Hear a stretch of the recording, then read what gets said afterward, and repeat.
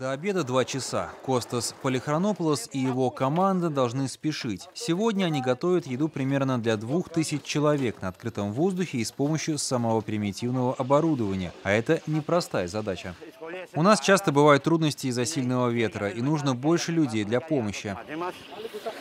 Сегодня в меню критараки – греческие макароны с овощами. Еду привозит волонтерская организация «Другой человек». Установили эту передвижную кухню прямо на пепелище, всего через несколько дней после того, как пожар уничтожил крупнейший в Европе лагерь беженцев моря. Это место раньше было чем-то домом. Вот газовый баллон, а рядом с ним кухонная утварь. Рядом было еще одно жилище, где бутылки воды. Лагерь моря был домом для 13 тысяч человек, живших здесь в стесненных, невыносимых условиях. Костас в курсе масштабов этой катастрофы. Он основал свою организацию во время финансового кризиса, когда он и многие другие в Греции потеряли почти все. Сначала он начал готовить еду для бездомных на улицах Афин. А когда кризис беженцев пришел на греческие острова в 2015 году, он приехал на Лесбос. С тех пор миссия организации не изменилась.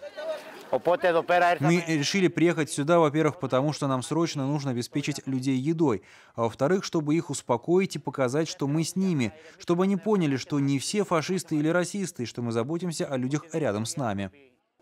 Волонтеры и беженцы готовят и едят вместе, стараясь создать чувство общности среди людей, у которых не осталось ничего, кроме друг друга. Я была в той же ситуации раньше, что и эти люди сейчас. Я их понимаю. Но большинство бывших обитателей лагеря спят здесь, на открытом воздухе, на улицах Лесбоса. Хотя силы безопасности начали перемещать людей в новый временный лагерь, большинство беженцев и мигрантов отказываются туда ехать, опасаясь, что условия там вскоре могут стать такими же невыносимыми, как в море. Фонды помощи предупреждают, что ситуация среди перемещенных в результате пожара беженцев продолжает стремительно ухудшаться. Им не хватает того же, чего не хватало пять лет назад, только все обстоит еще хуже. Это означает, что доступ к пище и чистой воде хуже, чем раньше, доступ к здравоохранению еще хуже, чем раньше. Все, что мы видели плохого раньше, теперь еще хуже. За время своего пребывания на острове Костас Полихронополос также не заметил никаких улучшений. Он говорит, что это разочаровывает, но он продолжает надеяться хотя бы на небольшие изменения к лучшему.